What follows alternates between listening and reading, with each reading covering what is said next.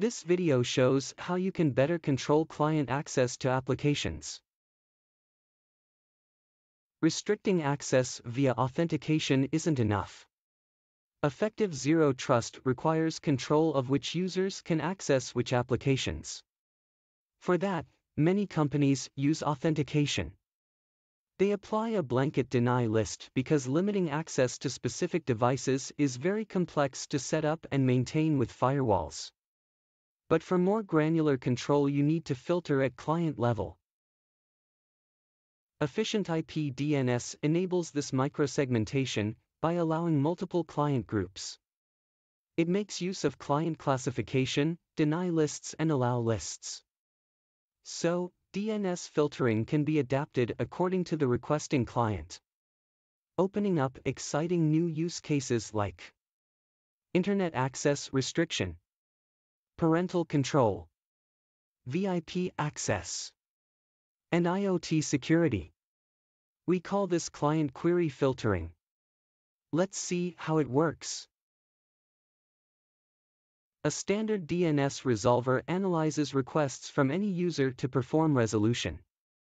Adding DNS firewall functionality allows the filtering out of unwanted domains, so any request matching an entry in the domain list will lead to denial of resolution and therefore denial of application access. Client query filtering brings the ability to add client lists to the filtering process. Client groups are created and mapped to domain lists. Let's now look at some use cases. In this first use case, we want to apply a filtering policy to a specific group of clients. The default group of users is allowed to get access to any application.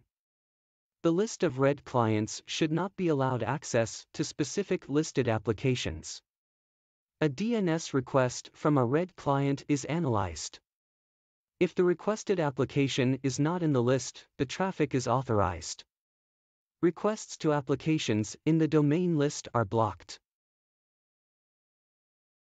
In this second use case, we want to restrict IoT devices to only access their applications.